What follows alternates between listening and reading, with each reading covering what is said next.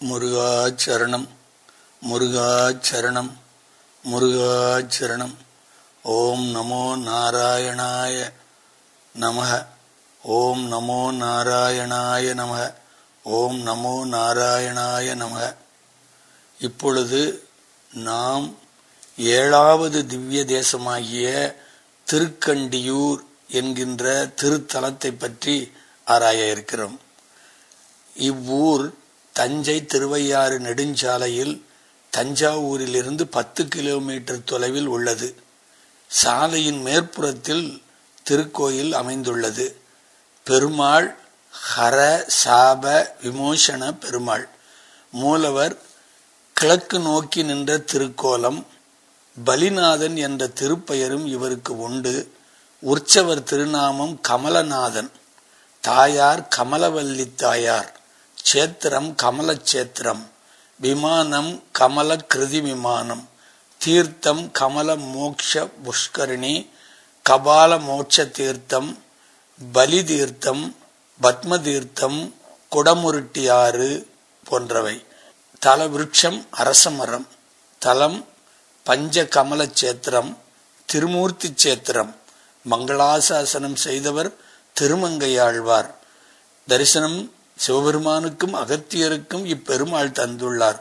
ஆகமம் வைகானசம். திருமங்கை ஆழ்வாரின் திருக்குறுந்தாண்டகம் பாசுரம். பிண்டிடார் மண்டையேந்தி பிறர் மனைத் திரிசுந்துண்ணும் உண்டியான் சாபம் தீர்த்த ஒருவனோர் உலகமேத்தும் கண்டியோர் அரங்கம் மெய்யம் கச்சிபேர் மல்ல என்று மண்டினார். உய்யலல்லால் மத்தையார் குய்யலாகமே. திருமங்கை ஆழ்வாரின் திருக்குறுந்தாண்டகம் பாசுரம். பிண்டிடார் மண்டையேந்தி பிறர் மனைத் திரிசுந்துண்ணும் உண்டியான் சாபம் தீர்த்த ஒருவனோர் உலகமேத்தும் கண்டியூர் அரங்கம் மெய்யம் கச்சிபேர் மல்ல என்று மண்டினார் உய்யலல்லால் மத்தையார் குய்யலாகமே. என்று திருமங்கையாழ்வார் மட்டுமே மங்களாசாசனம் செய்த ஸ்தலம் இது. இப்பாடலில் ஸ்ரீரங்கம் காஞ்சி திருப்பேர்நகர் மாமல்லபுரம் இவைகளையும் சேர்த்து கொள்ளின்று கொண்டிருக்கிறார். சிவன் பிரம்மன் தலையை கொய்து கபாலம் ஒட்டியதில் ஒட்டிக்கொண்டதில் எந்த சந்தேகமும் இல்லை. விழுந்த இடம்தான் புராணங்களில் வேறுபடுகிறது. பிரம்மாண்ட புராணம் சொல்லும் வரலாற்றை பார்ப்போம். ஜெகதீஸ்வரருக்கும் பிரம்மனுக்கும் ஐந்து தலைகள் இருந்தன. மகாதேவர் வெளியே சென்றிருந்த சமயம் உமாதேவி தியானத்திலிருந்து கண் மலர்ந்தாள். ஐந்து தலைகளோடு பிரம்மா வந்து கொண்டிருந்தார். தூரத்திலிருந்து பார்த்தவள் பார்த்தா வந்துவிட்டதாக எண்ணி பாத பூஜை செய்தாள். படைப்பு கடவுள் என்பதால் பார்வதி மரியாதை செய்வதாக பிரம்மா பெருமைப்பட்டு கொண்டார். அந்த வேளையில் சிவபெருமான் வந்துவிட்டார் மகேஸ்வரியின் செயல் எரிச்சல் ஊட்டுவதாக இருந்தது. கௌரி தேவி குழம்பினாள்.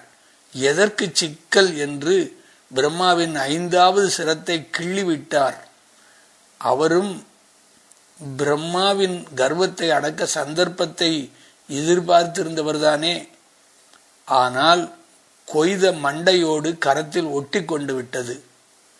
பசுபதீஸ்வரர் தீர்த்த யாத்திரை புறப்பட்டார். பிச்சாண்டராகி. எல்லோரிடமும் கபாலம் ஏந்தினார். தேவர்களெல்லாம் விதவிதமாய் பிச்சையிட்டனர். ஹத்தி என்றால் கொன்ற தோஷம். அதிலும் பிரம்மஹத்தி பீடித்தால் வயிற்றில் பசி இருந்து கொண்டே இருக்கிறது இருக்கும். எதையும் சாப்பிட முடியாதபடி வலது கரத்தில் மண்டை ஓடு ஒட்டி கொண்டு இருக்கிறது வேறு. இந்த பெரும்பசி கரம்பனூரில் பூர்ணவள்ளி தாயார் பிச்சையிட்டதும் மறைந்து விட்டது ஆனால் கையில் இருந்த ஓடு விழவில்லையே.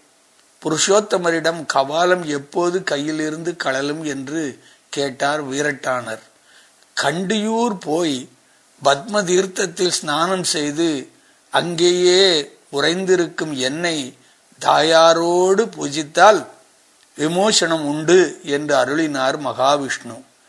கைலாயநாதர் கண்டியூருக்கு பயணமானார். வழியில் அன்பில் தளத்து நம்பியை வழிபட்டு கண்டியூர் வந்தார். தாமரை மலர்கள் நிறைந்த பத்ம தீர்த்தத்தில் கபால கையோடு நீராடினார். எழுந்தால் கபாலம் கையில் இல்லை. இதனால் இதற்கு ஹத்தியா விமோசன தீர்த்தம் பலி தீர்த்தம் என்றெல்லாம் பெயர்கள் வழங்கப்பட்டன. இந்த புஷ்கரணி ஆலயத்துக்கு எதிரில் உள்ளது.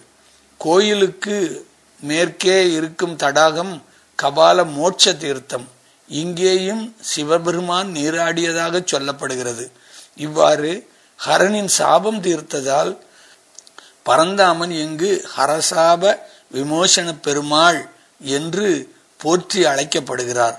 பிரம்மாவின் சாபம் கண்டனம் செய்ததால் இந்த ஊர் கண்டியூர் ஆயிற்று பெருமாள் பெருமாள் கோயிலுக்கு எதிரிலேயே ஈஸ்வரன் குடிகொண்டு விட்டார். ஈஸ்வரனின் திருநாமம் பிரம்ம சிர கண்டி ஈஸ்வரர் என்பதாகும். நான்முகனுக்கென தனி கோயில் இருக்கிறது. இந்த ஆலயம் பின்னப்பட்டதால் பிரம்மாவும் சரஸ்வதியும் சிவாலயத்திலே சிவ ஆலயத்திலேயே இருக்கிறார்கள். அதனால் இது திருமூர்த்தி சேத்திரம் என்று அழைக்கப்படுகிறது. கமலநாத பெருமாள் கிழக்கு நோக்கி நின்ற திருக்கோலத்தில் அருள் பாலிக்கிறார் இரண்டு பிரகாரங்கள் மூன்று நிலை கோபுரம் மகா மண்டபம் அர்த்த மண்டபம் எல்லாம் உள்ளன இங்கு. அகத்தியர் பொதியமலைக்கு போகும் வழியில் இங்கு வந்து தரிசனம் பெற்றிருக்கிறார். பல சதுர்முகங்களுக்கு முன்னால் தோன்றியது இந்த சேத்திரம் ஸ்ரீ கிருஷ்ணலீலா தரங்கிணியை பாடிய ஸ்ரீ தீர்த்த நாராயணர் இந்த பெருமாளை பிரேமையுடன் அடிக்கடி தரிசிப்பார். திப்பு சுல்தான் கூட இந்த பகுதியில் பயணம் செய்கையில் பகைவர்கள் தாக்க பெருமாளை பக்தியோடு தான் பிரதட்சணம் செய்திருக்கிறார். அதனால் எதிரிகளை முறியடிக்கும் வலிமையை பெருமாள் இவருக்கு அளித்திருக்கிறார் என்பது ஒரு கர்ண பரம்பரை செய்தியாக விளங்குகிறது. கண்டியா கிருஷ்ணன் கிருஷ்ணனாக ஏகநாதருக்கு பன்னிரண்டு வருடங்கள் சேவை செய்த பெருமாள்தான் கண்டியூரில் காட்சி கொடுக்கிறார். அவரை காணாத கண் என்ன கண்ணே என்று நூத்தி எட்டு திருப்பதி அந்தாதி சொல்லுகிறது. இதோ அந்த பாடல். பேசுபவரின் தென் அரங்கன் பேரெல்லாம் பேச்சு பேசுக வாய் கேசவனை காண்க விழி கேட்க செவி ஈசனார் உண்டியூர் தோறும் முழன்று இரவாமல் தவிர்த்தான் கண்டியூர் கூப்புக என் கை. இந்த பெருமானை ஏரி குளம் கிணறு ஆறியெல்லாம் நிரம்பி வழிய மாறி அளவாய் பொழிய மக்கள் நலமாய் வாழ கடல் உலகினில் உயிர்படும் அவதிகள் கலகம் இணையதுல கழியவும் நிலைபெற கதியும். உனது திருவடி நிழல் தந்தருள்க என்று போற்றி பாடி தரிசனை செய்வோம் பாருங்கள். ஓம் நமோ நாராயணாய. ஓம் நமோ நாராயணாய. ஓம் நமோ நாராயணாய. முருகாச்சரணம் முருகாச்சரணம் முருகாச்சரணம்